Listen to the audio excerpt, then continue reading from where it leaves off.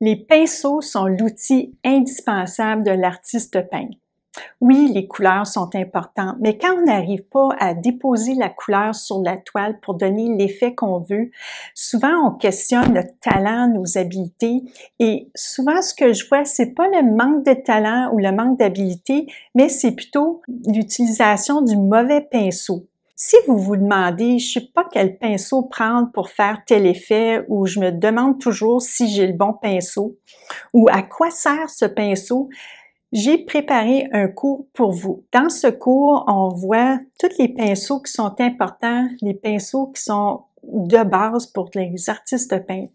On voit le pinceau carré, la langue de chat, l'éventail, les pinceaux à bourron et aussi les pinceaux traîneurs ou liner qui sont très fins et des fois ils font peur parce qu'ils ont des poils très longs.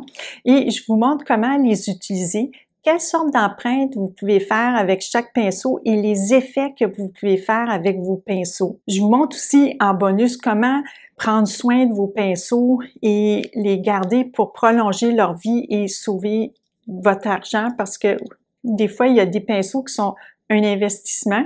Alors, on veut les garder le plus longtemps possible et en prendre soin.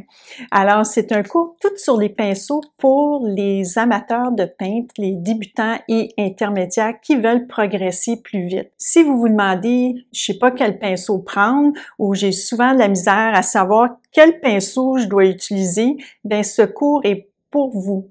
Et aussi, si vous vous demandez à quoi ça sert ce pinceau-là, bien aussi, vous allez voir tout ce que vous avez besoin pour savoir comment utiliser vos pinceaux, déclencher le potentiel de chacun de vos pinceaux. Je vais vous mettre le lien dans la description de la vidéo pour aller accéder à mon cours et on se revoit dans le cours. Merci. Je m'appelle Angèle. Je donne des cours de peinture à l'acrylique et à l'huile et ce cours est vraiment pour les pinceaux à l'acrylique et à l'huile.